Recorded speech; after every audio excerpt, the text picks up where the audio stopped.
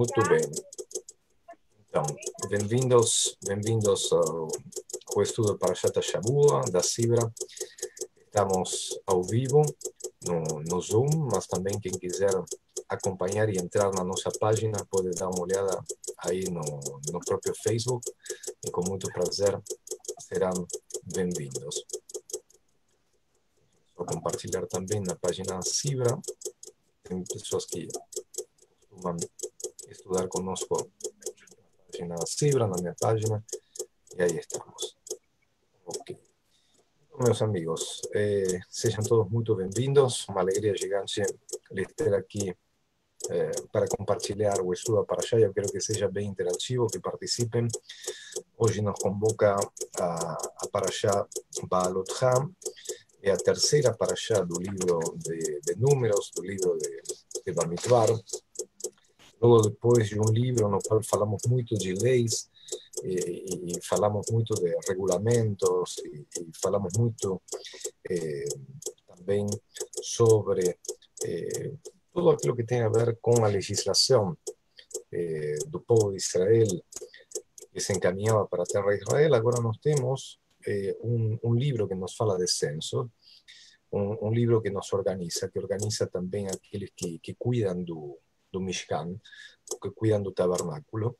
A nossa paraxá nos fala agora especificamente daquelas partes do, do tabernáculo eh, o tabernáculo era aquele local, poderíamos dizer, eh, móvel, onde estavam as tábuas da lei, que são transportadas pelos eh, levitas durante o deserto para que o Agadol, para que o irmão de Moshe possa eh, desenvolver o culto. E nós temos eh, uma das primeiras ações que tem a ver com o, o acendimento do candelabro, que ontem pela noite falei na minha prédica, o candelabro que não tinha forma arredondada, lembrem isso muito. O candelabro era um, um candelabro completamente diferente. Deixem ver se aqui. Este era o formato do, do candelabro, bem diferente daquilo que nós imaginamos. Era uma base e a partir dessa base temos os braços retos este era o formato do, do candelabro que foi construído por Moshe deserto, conforme revelação divina. Então é muito diferente daquele candelabro arredondado que nós hoje conhecemos.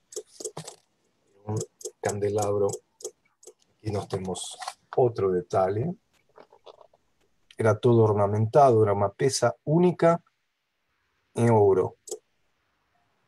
É uma a, a difícil, sim? como no meio do deserto, conseguiram fazer uma peça única em ouro.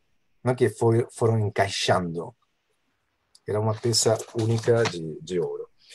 É, então, é, o que nós temos aqui, quando eu falava ontem, tem, é, quando eu falava de, de acender, acender o, o candelabro seria pegar aquela parte superior colocar nela óleo e depois acender fogo. Então, para fazer isso, o coenagador tinha que pegar, descer, encher de óleo e voltar a subir e colocar. Era uma trabalheira. Ah, não era acender. Hoje, hoje nós acendemos velas, é muito mais, mais fácil. Então, nós temos os, os braços. Isso ali era o, o candelabro, o candelabro que, que estava no, no Mishkan. Agora, tem, tem duas temáticas que eu gostaria de, de entrar e, e, aprofundar com vocês. Uma temática que é muito moderna e que nós chamamos de Lashon Ra, a língua do mal. Fofocar, falar mal de outros. Isso aí é, é algo tão antigo como a Bíblia, como a Torá.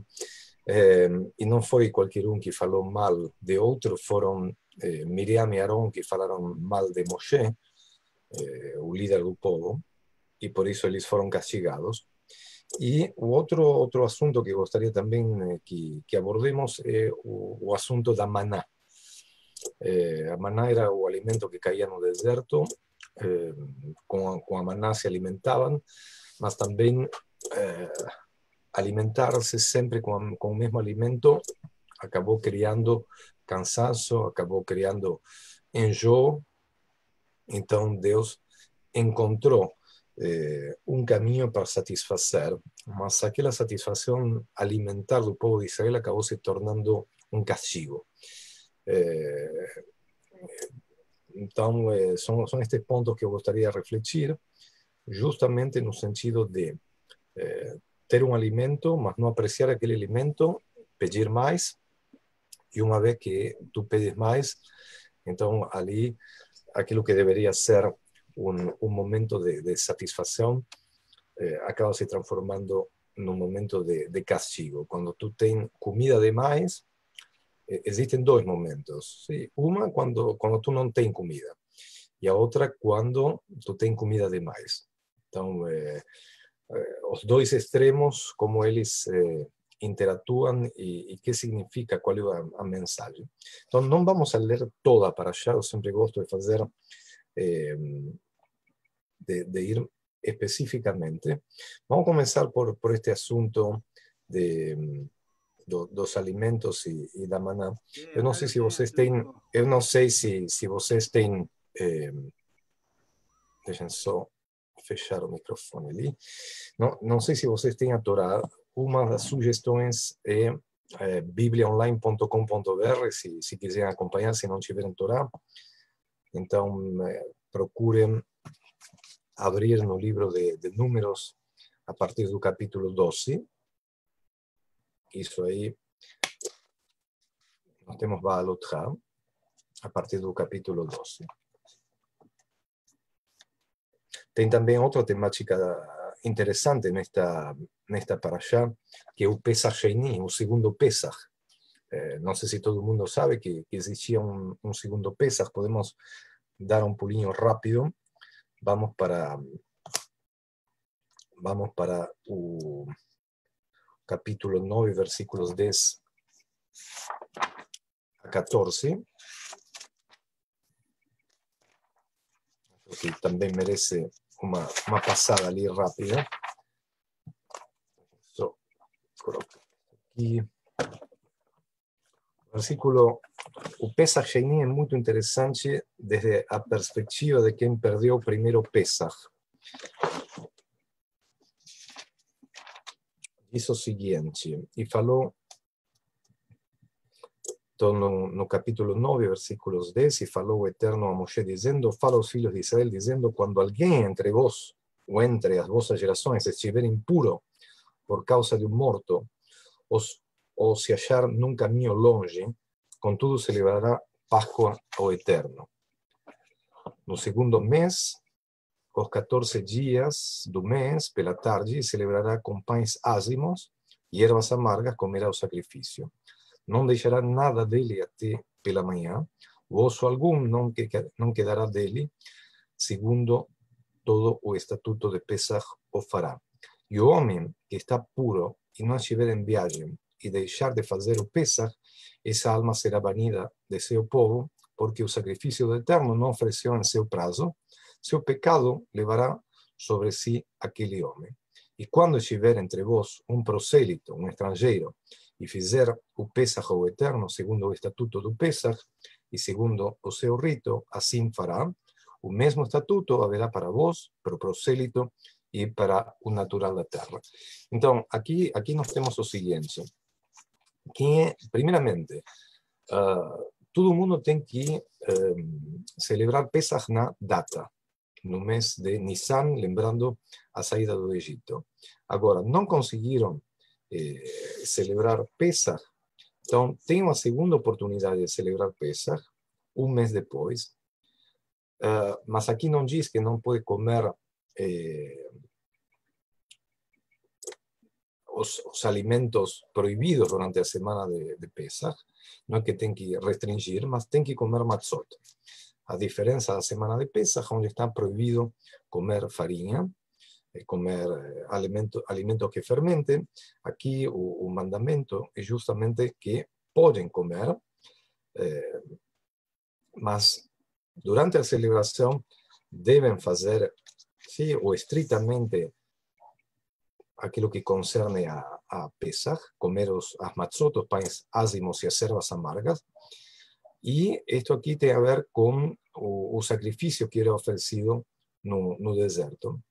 Agora, a diferença de Pesach, do Corban a Pesach, não pode ficar absolutamente nada para ser comido no outro dia. E aqui temos algo muito também interessante, que se estiver entre nós um estrangeiro, um prosélito, alguém que não é judeu, também deve eh, celebrar Pesach, também tem, eh, também participar e, e fazer o Pesach. Eh, agora, estamos falando no, no, no tempo de deser, do deserto, e que eu vejo realmente fantástico por parte das autoridades eh, religiosas da época, que, que seriam Koanim, como eles já eh, preveram que eh, cuidar o momento de luto, sí, não, não, tu não tem cabeça para estar celebrando uma festividade. Então, aquele que estiver de luto, ou aquele que, que, que tocou o morto e está impuro pelo morto, então não precisa celebrar eh, a, a, festividade. E a outra coisa também é que eh, as pessoas tinham que trabalhar. E trabalhar significava, eh, na época, eh, pegar, eh, ter que caminhar, ter que se afastar do, do acampamento, ou, iam sim, a, a, pegar alimentos, estavam longe do acampamento, não conseguiam voltar a tempo, então não, não estavam com o resto do povo para celebrar Pesach. Quando tu não está em casa, é muito mais difícil de, de preparar a mesa, de organizar a mesa, de organizar os alimentos típicos, ou até naquela época era oferecer um sacrifício. Eh, y por tanto, ¿sí? existe esta posibilidad de termos una, un, un, segundo Pesaj. Este año, pero el coronavirus, fue, fue discutido cuando todo esto aquí comenzó a mediados de marzo, cuando la gente comenzó a, a ficar en el lockdown, eh, en muchos lugares del mundo, muchos rabinos cuestionaron si este año, en lugar de celebrar Pesach na data, podríamos celebrar Pesach o Pesach Sheini. Y, y, a resposta, me lembro, a minha resposta, a minha colocação na, na, na, época era: não sabemos como iremos estar de aqui a dois meses, celebremos agora, não, não, não deixemos passar, porque depois pode ser realmente pior, e de fato, depois foi pior.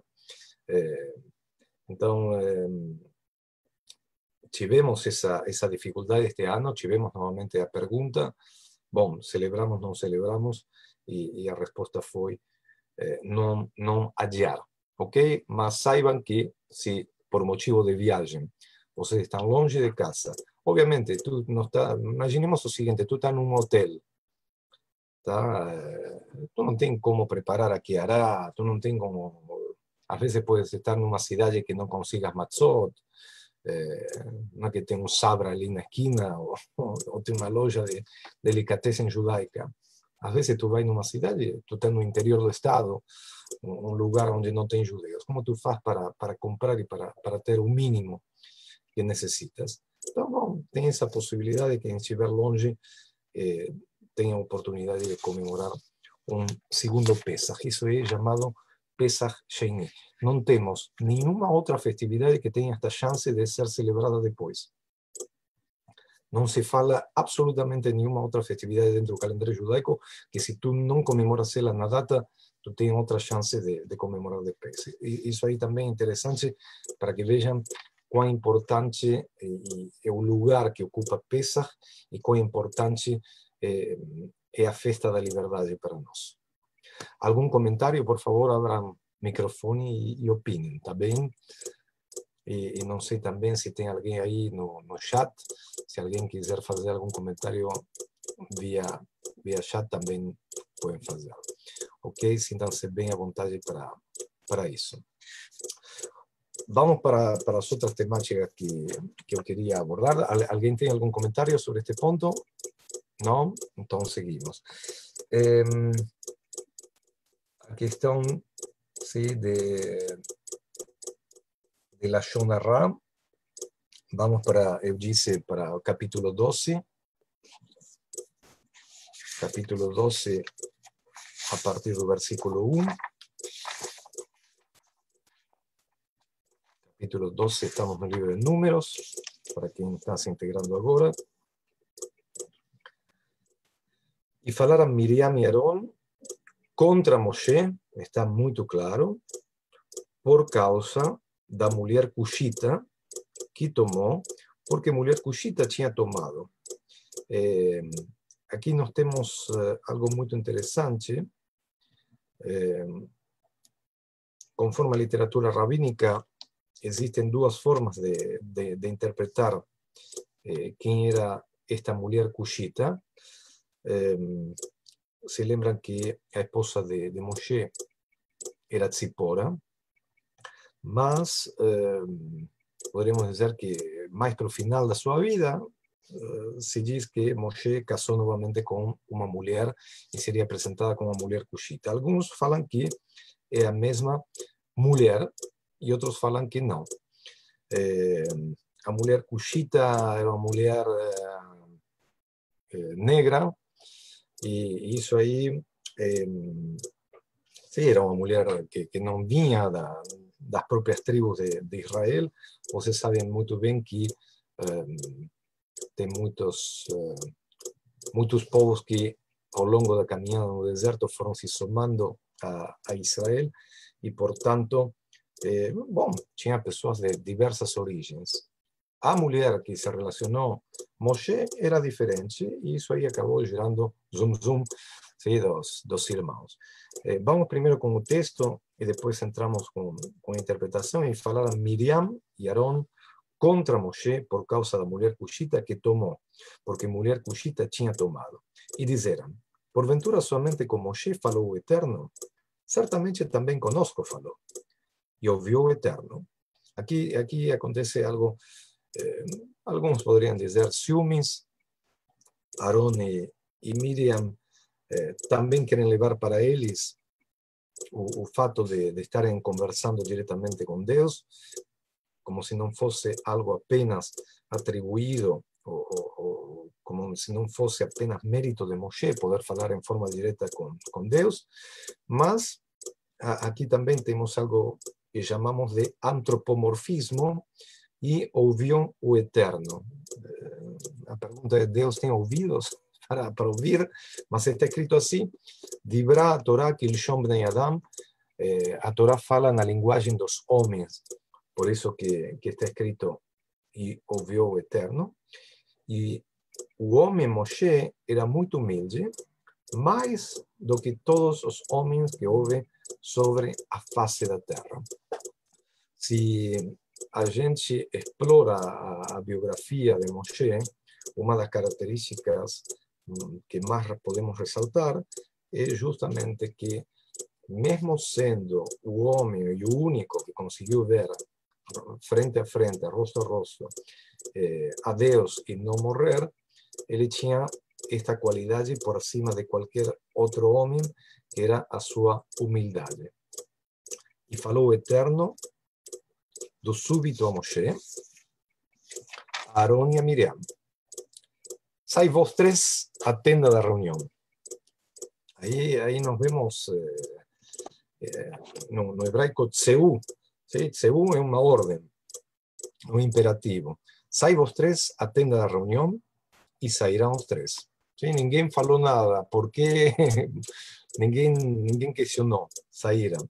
¿sí? Parecen tres crianças que fueron xingadas, se da uma ordem y les hacen aquella orden. Podrían ter questionado, ¿sí? ¿Por qué? Bueno, ok, una orden divina, tengo que acatar. Los tres. Versículo 5 del capítulo 12. Y apareció Eterno numa columna de nube y esteve a porta da tenda. Y llamó a Aarón y a Miriam y salieron ambos. Y dice, ouví rogo vos as minhas palabras se houver profeta entre vós, eu, o Eterno, em visão a ele me faço conhecer, ou no, son, no sonho falo com ele. Não é assim com meu servo Moshe? Em toda a minha casa ele é fiel. Claramente falarei com ele e com palavras claras, e não com enigmas, e a glória do Eterno contemplará. E por que razão não temeste falar contra o meu servo, contra Moshe? Y ascendióse a ira do eterno contra ellos, y él retiróse. Y a nube retiróse de sobre a tenda, y es que Miriam estaba leprosa. branca como a neve. E olhou Arão a Miriam, e eis que estava leprosa.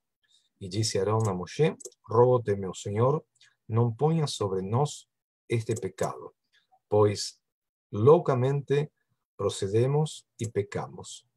Não seja ela igual a um morto, pois, dado que ela saiu do ventre da nossa mãe, isto seria como se fosse consumida a metade da nossa carne. E aqui vem a famosa tefilá, que a Priscila conhece muito bem, depois vou pedir para ela cantar, ¿sí? e clamou Moshe o Eterno, dizendo, Deus, rogo-te, cura ela. Cura. Um, termina aqui de uma forma que tem a ver com aquilo que nós falamos antes, a humildade de Moshe. Falaram mal de Moshe, pecaram contra Moshe, e quem vai atrás para resolver a situação e para pedir clemência contra aquela mulher que era sua irmã, que ficou doente, foi o próprio Moshe. Então, é, qual, qual era a discussão de fundo? Por, por que eles falaram mal de, de Moshe? abran ahí microfones y vamos, vamos a comenzar a, a conversar. ¿Cuál, ¿Cuál, es la discusión de, de, Moshe? ¿Cuál es la discusión aquí central? ¿Por qué, por qué falan mal de Moshe? Quisieran traer algún comentario también de algún exegeta que seja bienvenido. ¿Cuál es el motivo principal de falar mal de Moshe? ¿Por qué? ¿En qué consistía ese ciúmes de Miriam y Aarón? Más de Miriam, podría decir do que Moshe. Que, que lhes incomodava? Estavam todos no deserto, a vida já era difícil. Qual é, qual é a necessidade de falar mal de Moshe? Moshe já tinha suficiente ali. Já estava com todas as suas dificuldades, o povo já reclamava. Minha gente, a ver, quero les ouvir. Se animem. Por favor, por favor. ao ciúmes entre irmãos, por exemplo né? Okay. Pelo fato de ser o líder, ou talvez ser aqui o seu, né, justamente, era o único que tinha contato com o divino, então acho que caíram nessa bobagem do ciúme, da inveja, né? E aí vai lá e fala mal, quer diminuir a imagem do outro, quer ser o outro. E entre irmãos isso pode acontecer, né? Ok. Falaram, falaram mal do outro, por uma questão de ciúmes. que mais, minha gente? Posso falar? Claro. É, eu acho que é, a mulher, né, que é a Cochita lá, essa foi o pivô da, do comentário dos dois irmãos lá é, contra Moshe. Então, tu, tu diz, eh, de Jair, que não foi a questão dos ciúmes pelo próprio Moshe, foi a partir que, que entra, entra na história a mulher cuxita. Exatamente. Acho que foi aí que eles falaram contra Moshe. Ok. Então, aqui nós vemos outro fator, obrigado, Jair, o fator mulher cuxita. Eh, Heidi? Eu acho que não é tanto a questão de entre irmãos, mas sim a Miriam estava acostumada a ser a mulher mais importante e talvez se sentisse ameaçada pela, pelo, pela mulher cuxita em relação à sua importância dentro do, dentro do povo. Então, como que Miriam perderia espaço eh, com, a, com a aparição da mulher cuxita. Ela era a mais importante, ou a única, e de repente aparece outra que poderia ser tornar-se importante. Sim, é, o ponto de vista é interessante. Sim, se nós temos a Moshe como máximo líder, então a, a, mulher do líder que poderia chegar a ocupar um, um, lugar de destaque por acima da por acima do da própria Miriam. Interessante esse ponto. Mais alguém? Então vamos vamos tentar eh, entrar um pouquinho na na mulher cuxita conforme al comentario que, que aparece en la Torah de Matzliach Melamed, de, de acuerdo con los exegetas Rashi e Ibn Ezra, a mulher cuxita trata-se de Tzipora, filha de Jetro, cuya beleza era reconhecida por todos, do mesmo modo que contrasta com a negritude de uma etíope. Rashban, no livro Mibaleia Tosafot, citando as crônicas, dizem que esta mulher era uma das rainhas de Abisinia que Moshe tinha tomado como mulher durante sua estadia de 40 anos naquele país. Cushita, conforme a gematria, gematria, lembrem que é o valor numérico das, eh, das letras no alfabeto hebraico, valor numérico intrínseco desta palavra, Kushit. ¿sí? Nós temos Haf, que é 20, mais Bet, mais Vav, que é 6, Shin 300, Yud é 10 e Taf é 400. 736 no total, que equivale à expressão Yafat Marad, vistosa, que soma também eh, na, na Gimatria 736. Então, Kushit seria vistosa, bonita. Segundo exegeta Rashi, o termo Kushita foi repetido para ressaltar que sua beleza física era tão grande quanto as qualidades de seu caráter.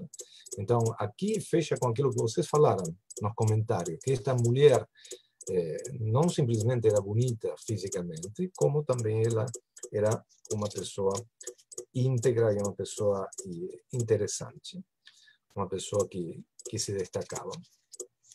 Agora, ela poderia ser uma rainha etíope e ter se convertido também na, na mulher de, de Moshe. Eu quero ver algum outro comentário que, que possa acrescentar sobre aquilo que nós estamos eh, falando. Sobre esta questão, o tema de Miriam e Aarón falando contra Moshe está íntimamente relacionado com as dificuldades anteriores dos filhos de Israel, que foram apresentadas no, no capítulo 11.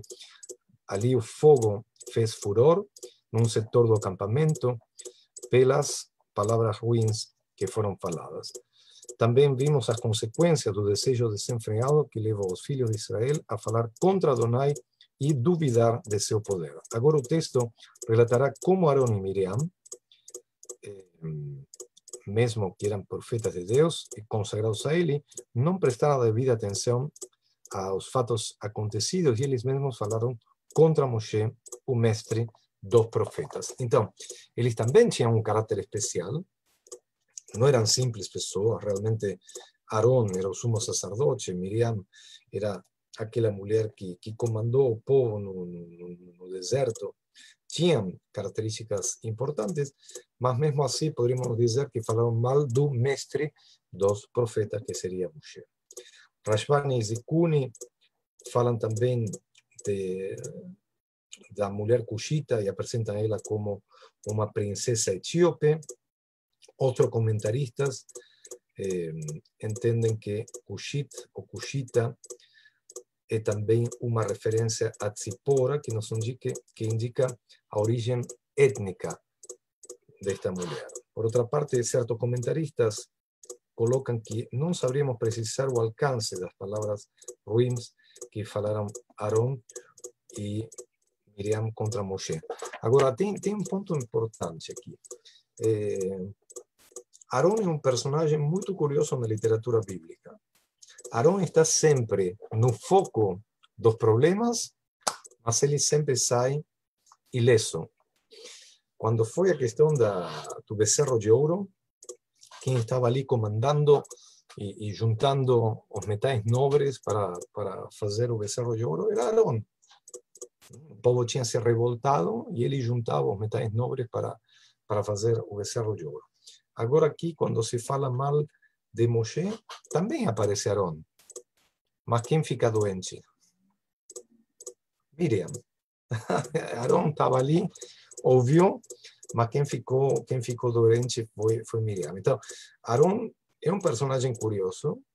É, às vezes ele se omite, mas também a omissão é um pecado. Cuidado. Tu puedes estar no meio de uma cena, tu puedes estar no meio de algum lugar, fica de boca calada quando tu vê algo que não corresponde. É, e, e, isso aí também sí, é, uma transgressão, porque de fato ambos são castigados, um corporalmente outro espiritualmente. Eh, segundo Rashbam,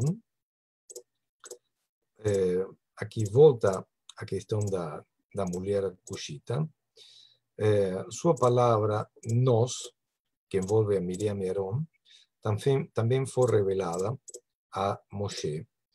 E estes não podem dizer que tiveram uma revelação superior a seu irmão. A Torá não quer explicitar mais as palavras contra Moshe, já que essa ação é negativa pela sua intencionalidade, mais que pelos seus argumentos, e careceria de sentido um análise das palavras de Aaron e Miriam. Então, quero dizer também que uh, o que falaram Aaron e Miriam foi bem pior do que o que aparece, e o fato de não aparecer aqui explicitamente é uma forma de proteger a Moshe. Quando, quando ouvimos que, que se fala mal de alguém, não precisamos repetir o discurso, porque isso poderia provocar mais dor para aquele que, que está no foco eh, do, dos agravios. Então, bom, se falou mal e, e não se entra no mérito daquilo que se disse.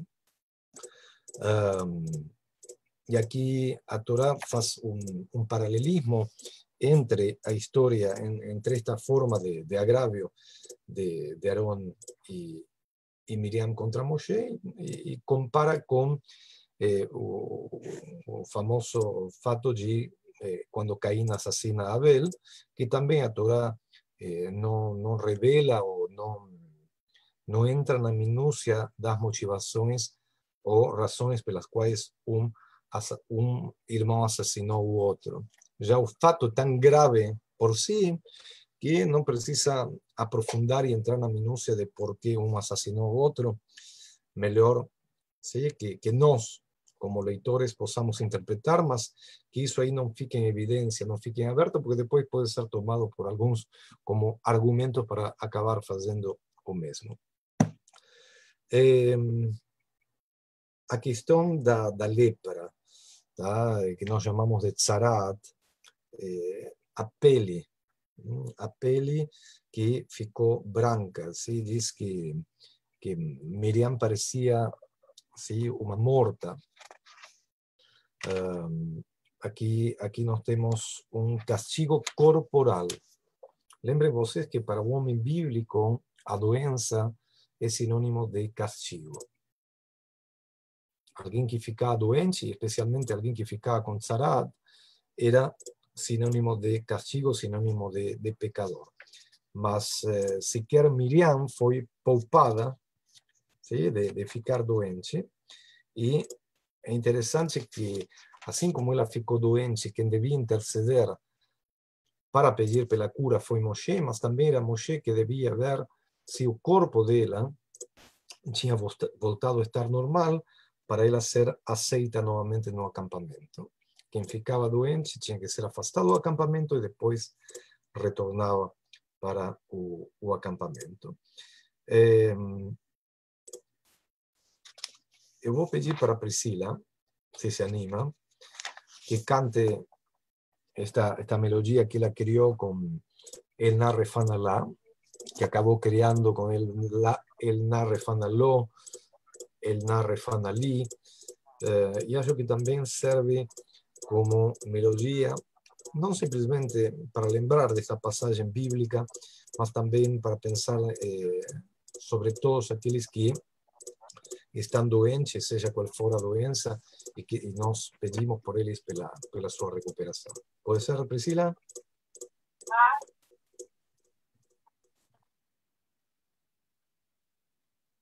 El nada fanali, el nada fanali,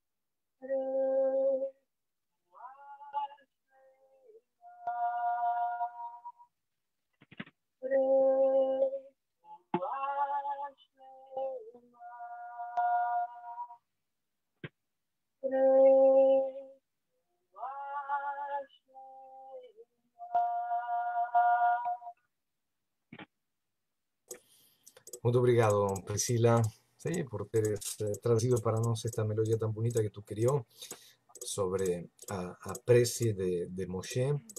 El, Na, Refanalá, cinco palavras que se tornaram a prece mais curta de toda a Torá. Okay? Não tem outra que seja mais curta. Agora, esta, esta, esta prece. Sim. Sim, Débora. Por favor. E que é uma coisa interessante que sempre aparece os sentimentos humanos, né, na Torá, eu, eu fico me perguntando assim, também será o início de uma denúncia ao racismo? Né? Porque nada é por acaso que se escreve, né? E justamente falaram de uma mulher negra e a Miriam fica doente, branca como a neve. Esse contraste tão grande. Era isso que eu queria perguntar. Sem dúvida. Eh, Eu enxergo aqui também eh, essa, essa questão, bom, ah, se fala mal porque é diferente a nós. In- Independente de, de entrar no mérito da cor, eh, mas se falava mal por ser diferente. Eh, isto é algo que, que muitas vezes também acontece contra nós. Eh, a gente se coloca nesse local. Se fala mal porque somos diferentes a. Hum, eh, o, o fato de ser diferente, mesmo que não tenha feito nada, porque não diz nada que a Isha Kushit, não, não diz nada que, que, que aquela mulher negra tenha feito alguma ação errada, ou, ou, tenha pecado, ou tenha feito algo que, que incomodou o povo. O único que incomodou era que era diferente. Eh, e às vezes acontece também conosco.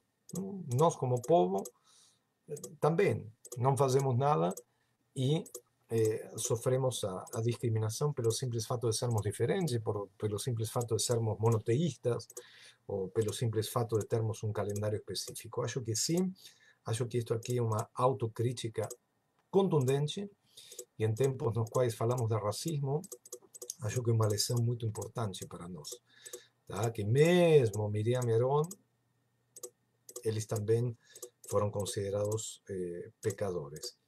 Aqui, agora aparece, sim, aqui no Midrash, segundo o Midrash, Miriam e Aaron falaram contra Moshe ao tomar conhecimento de que ele não tinha mais contato com a sua esposa Tzipora. Eles souberam disso pelos comentários de Tzipora quando da revelação do Espírito de Deus sobre os anciãos. Lembrem também que eh, Deus revela esse Espírito sobre 70 anciãos que acabam sendo uma espécie de ajudantes de Moshe no deserto para sí, aliviar um pouco a, a, a carga, a carga de, de Moshe, mas também ele já era uma pessoa mais avançada em anos, então era uma forma de, de formar uma espécie de colegiado que possa lhe ajudar a tocar e, e a levar eh, o, o povo pelo deserto. As esposas destes deveriam chorar em lugar de se alegrarem, pois Moshe, meu esposo, desde que recebeu o Espírito de Deus, deixou de se apaixonar por mim. Ali então é que Miriam e Arão disseram: Porventura somente com Moshe falou Eterno, certamente também conosco falou. Entretanto, não deixamos de cumprir a nossa obrigação para com nossas metades. Arão e Miriam foram castigados com a pena dos caluniadores, isto é, com a lepra. Segundo Midrash, Arão foi curado instantaneamente, mas Miriam, a principal culpada, teve a praga durante sete dias. Quanto a Moshe, ele também foi nobre e benevolente nesta circunstância. Perdoou a sua, seu irmão e rogou em favor da sua irmã, que foi curada por este breve e expressiva oração sim, de cinco palavras. Eh, então, aqui nós vemos que ambos tiveram castigo. Aarón foi curado no mesmo momento e com Miriam a sorte não, não foi a mesma. Eh, a de ser um morto em vida é terrível. Um conceito sim, de ser morto em vida ou estar morto em vida. A pessoa punida com a praga da lepra comparada com uma pessoa morta. Conforme o Midrash, Aaron disse a Moshe, no curso normal da vida, Só a morte pode provocar a separação entre irmãos. Mas as leis da lepra, detalhadas no livro de Vaikra, Levítico, nas porções semanais Tasri e Metzorá, forçosamente nos separarão da nossa irmã ainda em vida. Como resultado da prece de Moshe, Miriam foi curada imediatamente, mas sem passar por todo o processo de purificação normal. A reclusão de sete dias foi cumprida como um decreto divino específico para que ela e todo o povo aprendessem a lição, tantas vezes repetida na Torá, sobre os males causados à sociedade pela língua viperina e a maledicência. Isto aqui é aquilo que nós chamamos em, em hebraico la shonarra, a língua do mal, falar mal de alguém. Eh, portanto, como eu disse no início do nosso comentário, eh, a fofoca é algo muito antigo, não é algo dos nossos dias. Não achem que, que alguém que, que fala mal do outro, do próximo, eh, está fazendo algo novo ou, está fazendo algo moderno. Isto aqui já vem dos tempos bíblicos, o que nós vemos também que é colocado em categoria de pecado. Isso sim é bom de, de, de alertar para quem, para quem fala mal. E um, o, que, o que também é interessante como existe o conceito do perdão. Moshe poderia ter se vengado, era o líder, poderia ter dado alguma ordem, tirem eles do acampamento, não deixem eles voltar, eh, estavam ali no meio do deserto, poderia ter deixado eles sim, no local onde estavam e depois, quando avançavam, esquecer, mas o líder ¿sí? se supera y, y muestra que, que, no existe rancor, menos contra su hermano y, contra su hermano, y también está dando ejemplo de aquello que nos eh, llamamos eh, de arrepentimiento. Eh, aquí nos vemos, podríamos decir, como Miriam, na, ese es un lado que, que yo gosto da Torá, un lado humano. No, no tenemos superhéroes. Era Miriam, a mulher que comandou as mulheres no deserto e dava o ânimo e cantava e, e, e o, o Mar Vermelho e, e motivava as pessoas no, no deserto, mas também foi castigada. Todos foram castigados, todos.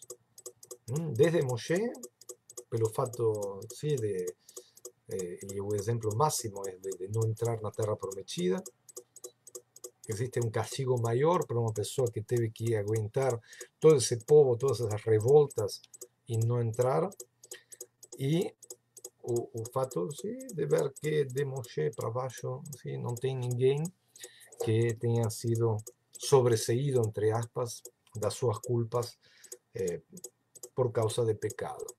Eh, alguns acham que, que, que exagero, que ele não entre na terra de Israel. Outros podem considerar também que, que Miriam ter ficado com lepra foi um exagero, mas aos olhos nossos, de simples mortais, integrantes de um povo, acho que é uma lição é, bem, bem interessante. Já que eu te vejo muito quietinha ali em BH, é, que, ou estás esperando aí os últimos cinco minutos para largar a pergunta? Fala, Jackie. Abre, abre o microfone.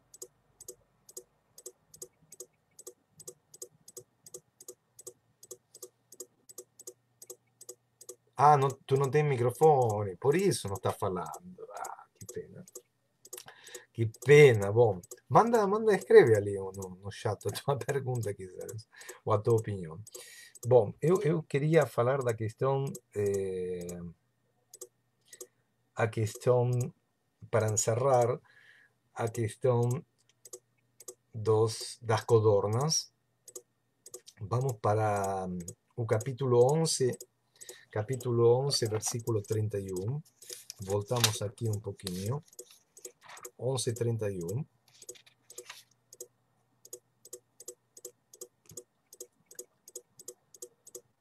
E um vento, aqui, aqui nós temos que, voltamos à questão da maná. Tá? Que, que era maná?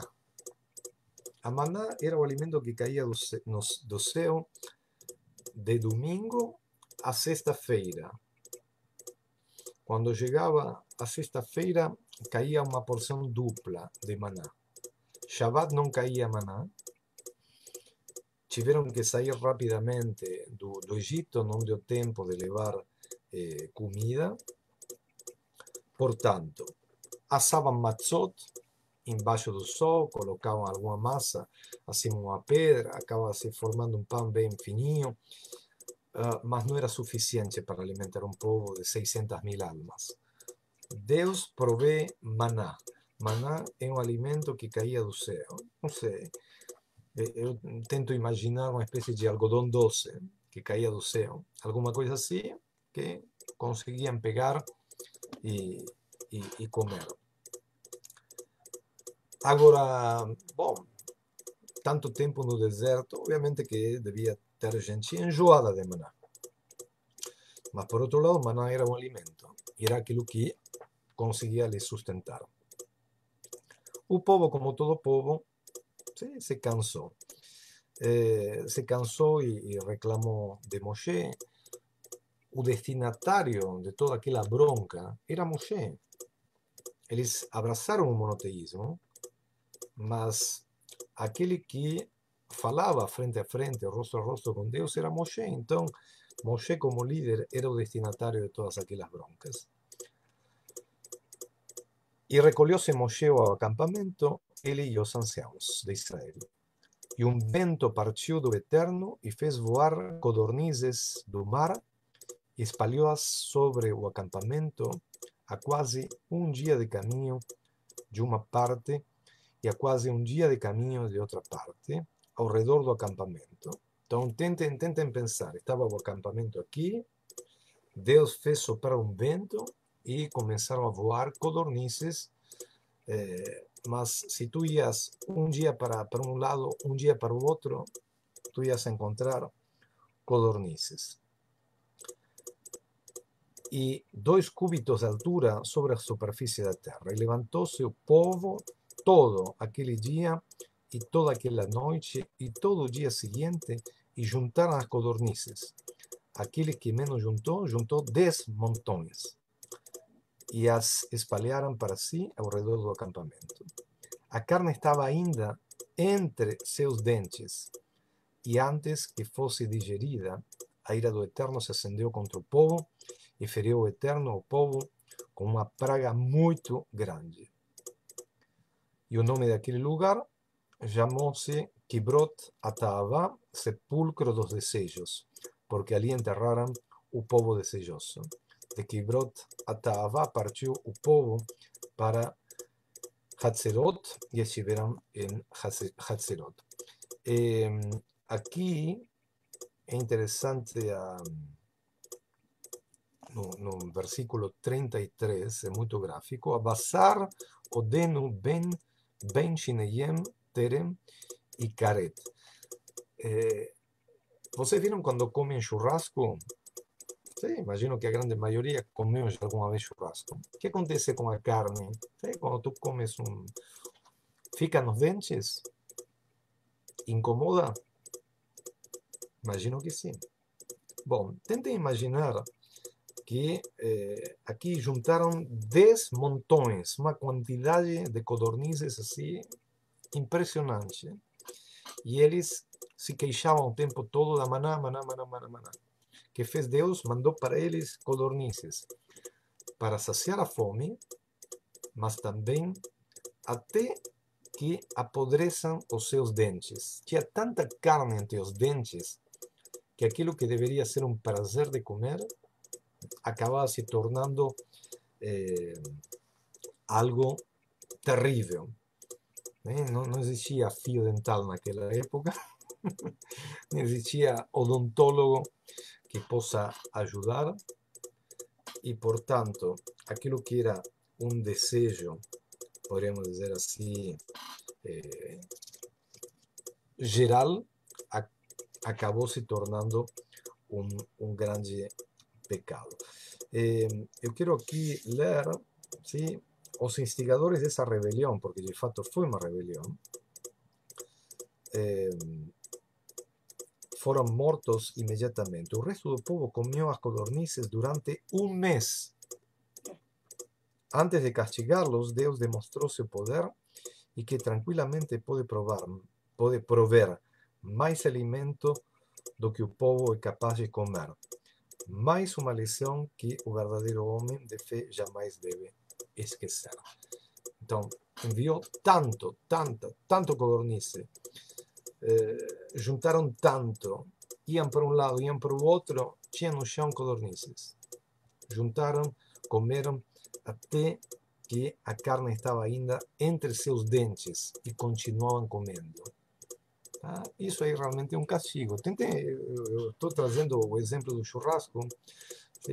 Tu comes um churrasco, mas tem mais churrasco, e, e, e tem churrasco no café da manhã, no almoço e no jantar. No café da manhã, churrasco, jantar. Café da manhã, churrasco, jantar. Tá? Não tem como não ficar carne entre os dentes. E aquela carne que fica entre os dentes, qual é o efeito? Apodrece. Uh, e acaba sendo um, um castigo terrível. Castigo terrível para, para este povo. Quero ver aqui se o Rabino Ederi traz algum outro comentário sobre estes versículos. barulhinho do meu estabilizador está me enlouquecendo. Desculpem se espero que, que não esteja lhes incomodando tanto como me incomoda. Gerson? Sim. Eu fiquei pensando, é, Deus manda as codornas do mar, que já é uma coisa que a gente pode se perguntar estranho, né? Ela vem do mar. E depois eu fiquei pensando assim, ó, é é, me lembrou aquela frase, cuidado com seus desejos, né? Eles podem acontecer. Quer dizer, ele, ele mandou muito. Pronto. Agora, o homem é que está no papel de limitar a quantidade, o que fazer com ele, como tornar aquilo agradável ou não à sua vida, né? Isso não é responsabilidade divina, é humana, né? Sim, mas, mas neste caso, justamente o fato de enviar tanto, mesmo que mesmo que também o homem administre, era um castigo. É, foi proposital. Tá? Não, não tinha como administrar também isso ali.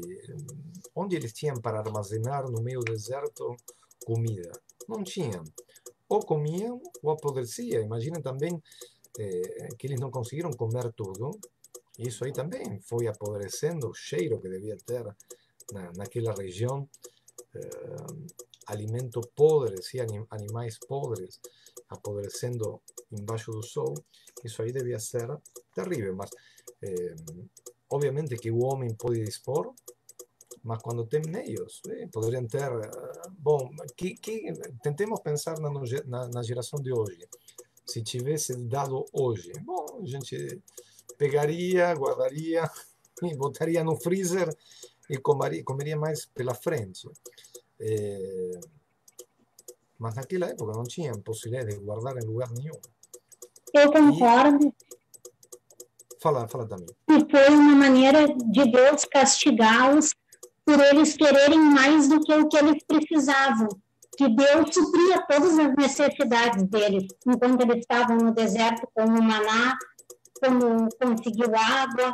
Então, eles queriam mais do que o que eles precisavam, e a maneira que Deus encontrou de castigá-los foi dessa forma, para mostrar que ele poderia, mas que eles não precisavam mais do que o que eles tinham.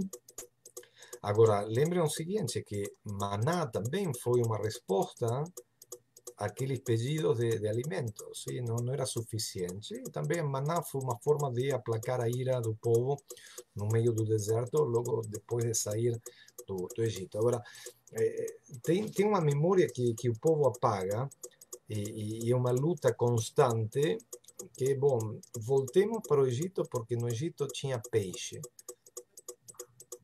Mas apaga a parte ruim, no Egito éramos escravos. Eh, eu sempre falo, é como as histórias do, dos namorados. E com o tempo só se lembram das coisas boas, mas esquecem as coisas ruins. Porque tu brigou com teu ex-namorado? Porque tinha coisas ruins, mas eh, só lembras as coisas boas. Tu quer voltar porque lembra as coisas boas, mas as coisas ruins tu acabas apagando.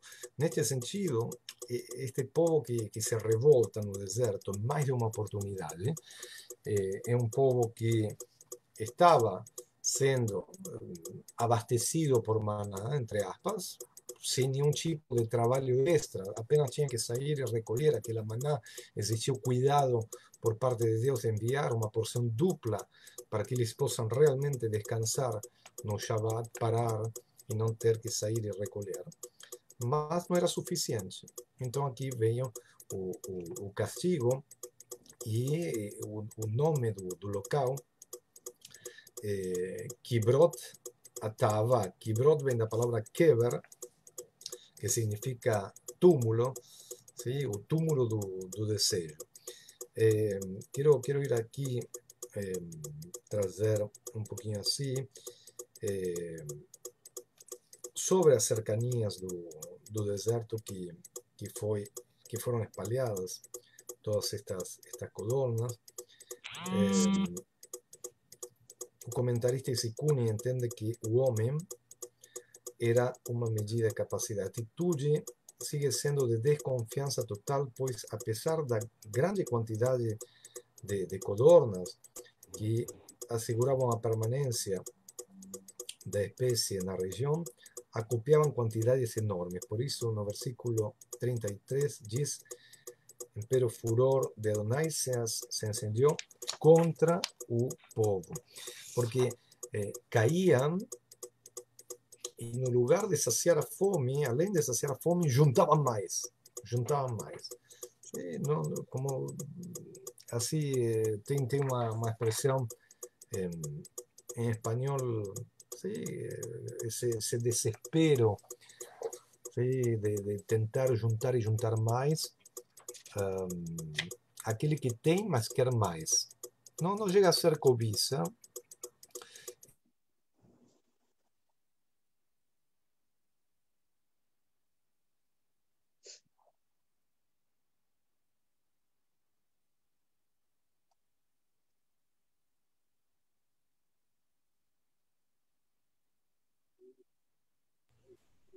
Travou só ele, né, pessoal? Travou ele, aham. Uhum. Jaque, parabéns. Eu fui adiantada um dia.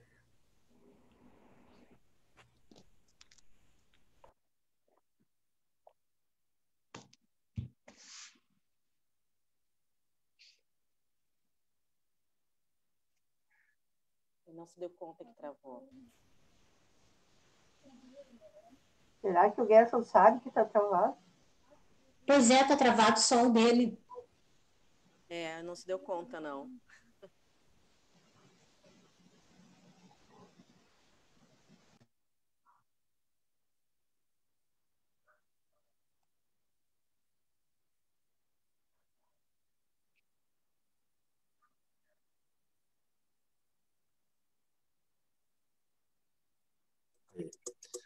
Tinha sumido a minha tela, acho que deu uma caída do, do Zoom, agora, agora voltou. Disse, estava falando com você, eu veia todos tão quietinhos.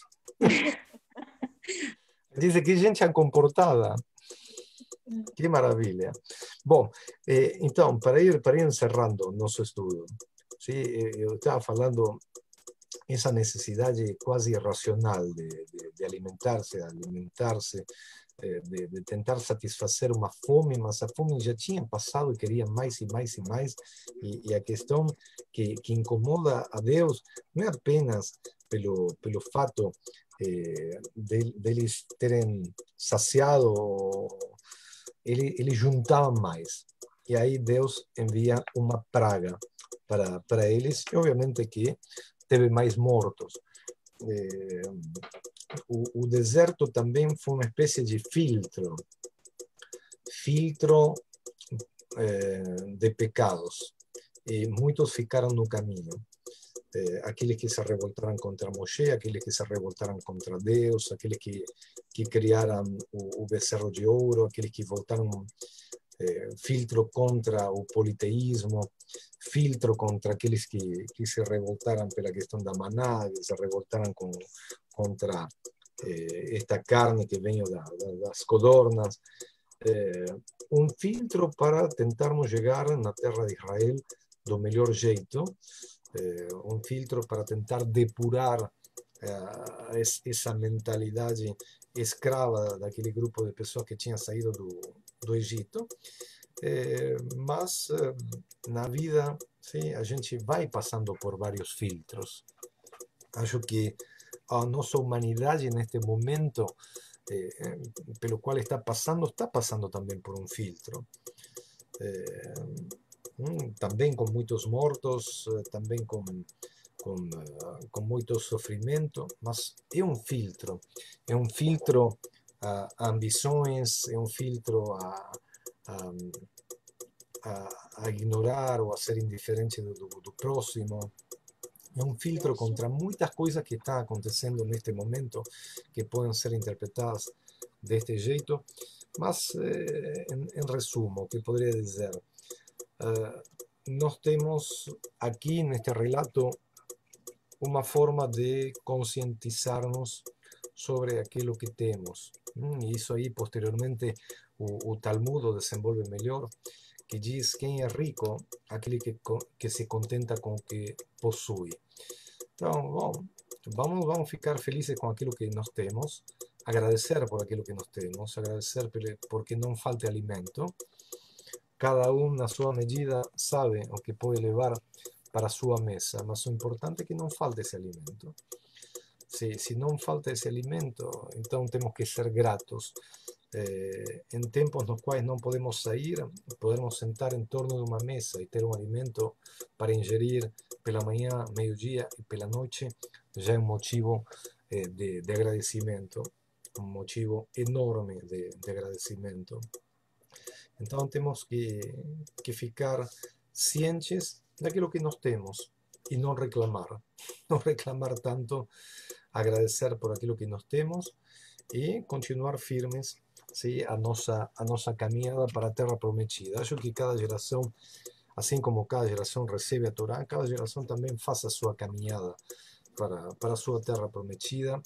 E os desafios são grandes, as rebeliões são grandes no meio do caminho, mas devemos continuar. Devemos continuar. Eu quero lhes agradecer muito a cada um de vocês por estarem aqui, por terem compartilhado este momento de estudo da Torá. Eh, Débora, gostaria de falar um pouquinho do, da atividade de Viktor Frankl, se alguém quiser Sim. estudar com Shira Shalom, por favor. Uh, em termos de quarentena, a gente não conseguiu se comunicar com a comunidade presencialmente, né? Então a gente pensou uma forma de continuar crescendo, que, a gente, que é pelo estudo, né? e abrimos então para a comunidade. Não chega a ser um curso, mas é um grupo de discussão das ideias dele, né? que eu recomendo. É um psicólogo, neuropsiquiatra, que relata a sua experiência de três anos em campo de concentração, e de lá dentro ele fez a sua teoria, que é a logoterapia que, que a logoterapia é a, bu é a busca do porquê, da, o motivo da existência. Então, eu acho que vai valer muito a pena esse momento. Quem quiser, só falar comigo. Já tem horário marcado? Já tem data? Vai começar sexta-feira, dia 19, às 14 horas. Às acho que 16 horas. Ok. E quem não puder naquele horário, fica gravado para entrar e ver ou não? É, a gente pode fazer isso, sim. Tem que ver a minha tecnologia para isso. Tá bom, se, se for, se vocês trabalham no, no Zoom da Cibra, tem esse recurso de, tá. de poder gravar. Tá bem? Era isso mesmo. Muito bem. Minha gente querida, Shabbat Shalom a todos. Shabbat Shalom. Shabbat shalom. Obrigado, obrigado por estar ali e, e que possamos sim, subir, subir como, como sugere o nome da, da nossa paraxá, que possamos subir na nossa espiritualidade e na nossa santidade. Obrigado a todos. Shabbat Shalom. Shabbat. Shalom. Shabbat Shalom.